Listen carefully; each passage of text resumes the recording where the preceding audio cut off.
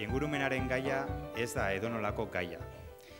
Hori izan da orain arte e, eman diguten mezu bat. Ingurumena hor dagoela, garrantzitsuna industria, ekonomia, eh, ogasuna, ez, gobernuetan, horiek izan dira departamentu garrantzitsuenak, eta bapatean nire e, mailaren gainean, ikusi nuen, hau ezela nola nahiko saia, hau zan ingurumena, garraioa, azpiegiturak, lurralde antolamendua, irigintza, eta esan nuen, bueno, hau da ingurumenari buruz lan egiteko aukera bakarra. Transbertsala izan bar da ingurumena. Eta sail hau antolatuta dagoen bezala oso sail potentea eta beharrezkoa da edozen gobernutarako. Eta esango nukenik hau dela historian, herrialde askotan, horrelako eskema bat planteatu dan lehenengo aldia. Eta horretaz oso, oso pozik eta arronago e, laurak hori ere e, babesten duelago, duelako eta Euskal Herria Bilduko koalizio guztiak horrela ikusten duelako ingurumenaren garrantzia. Pero cuando llegamos a la hora de, bueno, ¿y qué hacemos? Y nos preguntan, sí, pero ¿qué propuestas tenéis? ¿No? Más allá de los eslóganes, como dicen algunos. Pues tenemos muchas propuestas y muy serias. Hemen bi eredu kontrajarriak daude. Eta denok dakigu. Bi modelo edo bi eredu daudela. Bat, erregai fosilak erabiltzen jarraitzea, orain arte bezala. Mila beratzen da eta mairu eta iruro eta mazortzi garren urtean egon ziren petrolioaren krisi batzuk. Eta hortik atera ginen, bagenekielako edo bazekitelako, oraindik petrolio izugarri pila zegoela ustiatzeko. Baina gaur egun badakigu petrolioaren gaiurrean gaudela. Eta hor debatea dago, ea 2000 eta bostean pasa genuen, edo 2000 eta meiruan, edo 2000 eta amabostean pasako dugun. Baina hemen dago. Eh? Petroloren eskazia objetiboa da. Baino, badirudi, akzidente bat gertatu y accidentalmente nos encontramos con otra manera, con otras fuentes de energía fósil. Y ya sabéis de qué hablo, ¿verdad? ¿Eh? Ya sabéis que es el fracking, casi todos vosotros. Pues ha sido un accidente. Era una técnica que se conocía bastante bien desde hace muchos años. Incluso en Alemania, creo que a finales del, eh, siglo XIX, alguno empezó ya a ver eso de la fractura hidráulica y tal.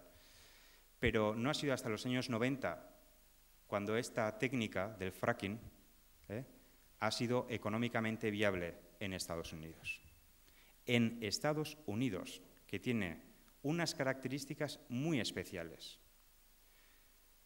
Unas características que desgraciadamente en algunos ámbitos se parecen a Araba. Por ejemplo, la muy baja densidad poblacional.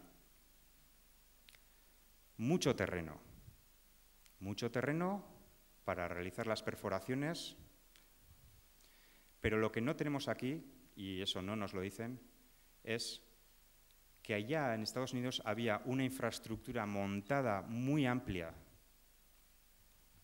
muy amplia para poder conducir el gas y el petróleo no convencional a las industrias, a los hogares. Aquí no la tenemos todavía, no existe.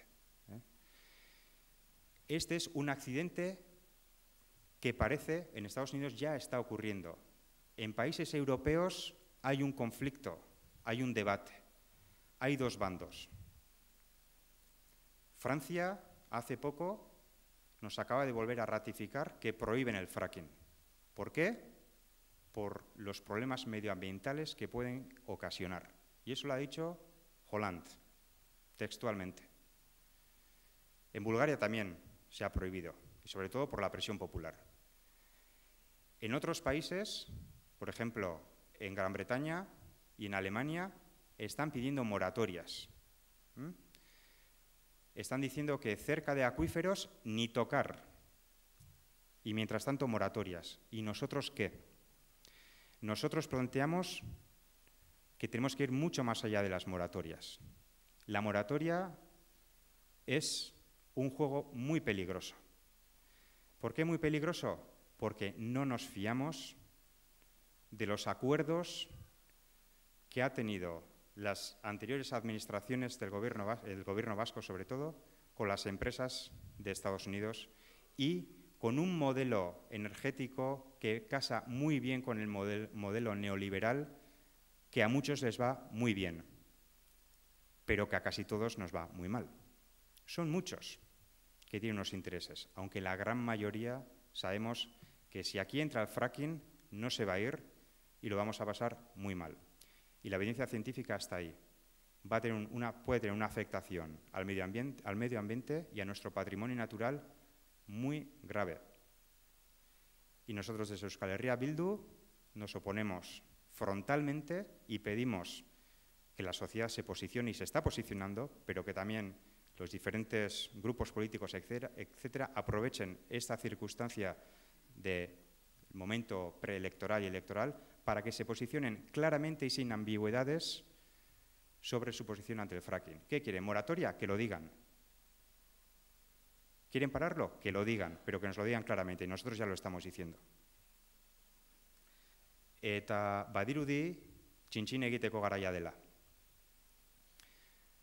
Badirudi, nuklenorrek ez dula eskatu, eta agian ez dula eskatuko, garoinaren ustiaketaren prorroga bat. Baino, Euskal Herria bildutik ikusten dugu gai hau ez dagoela guztiz itxita.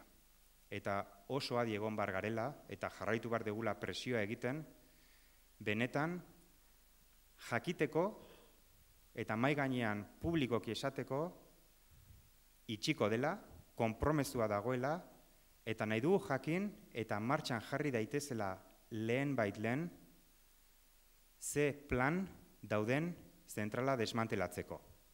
Ez, da, ez, da, ez dalako, y porque no es una cosa, no es moco de pavo desmantelar una central nuclear, no es moco de pavo.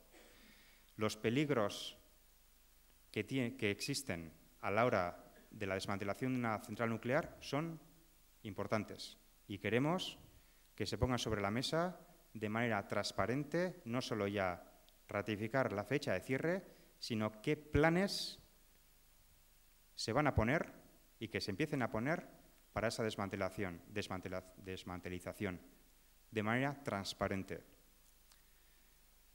Y animaríamos y queremos animar un poco también a la sociedad ¿eh? para, que, para que tome partido y no crea que todo ya está hecho.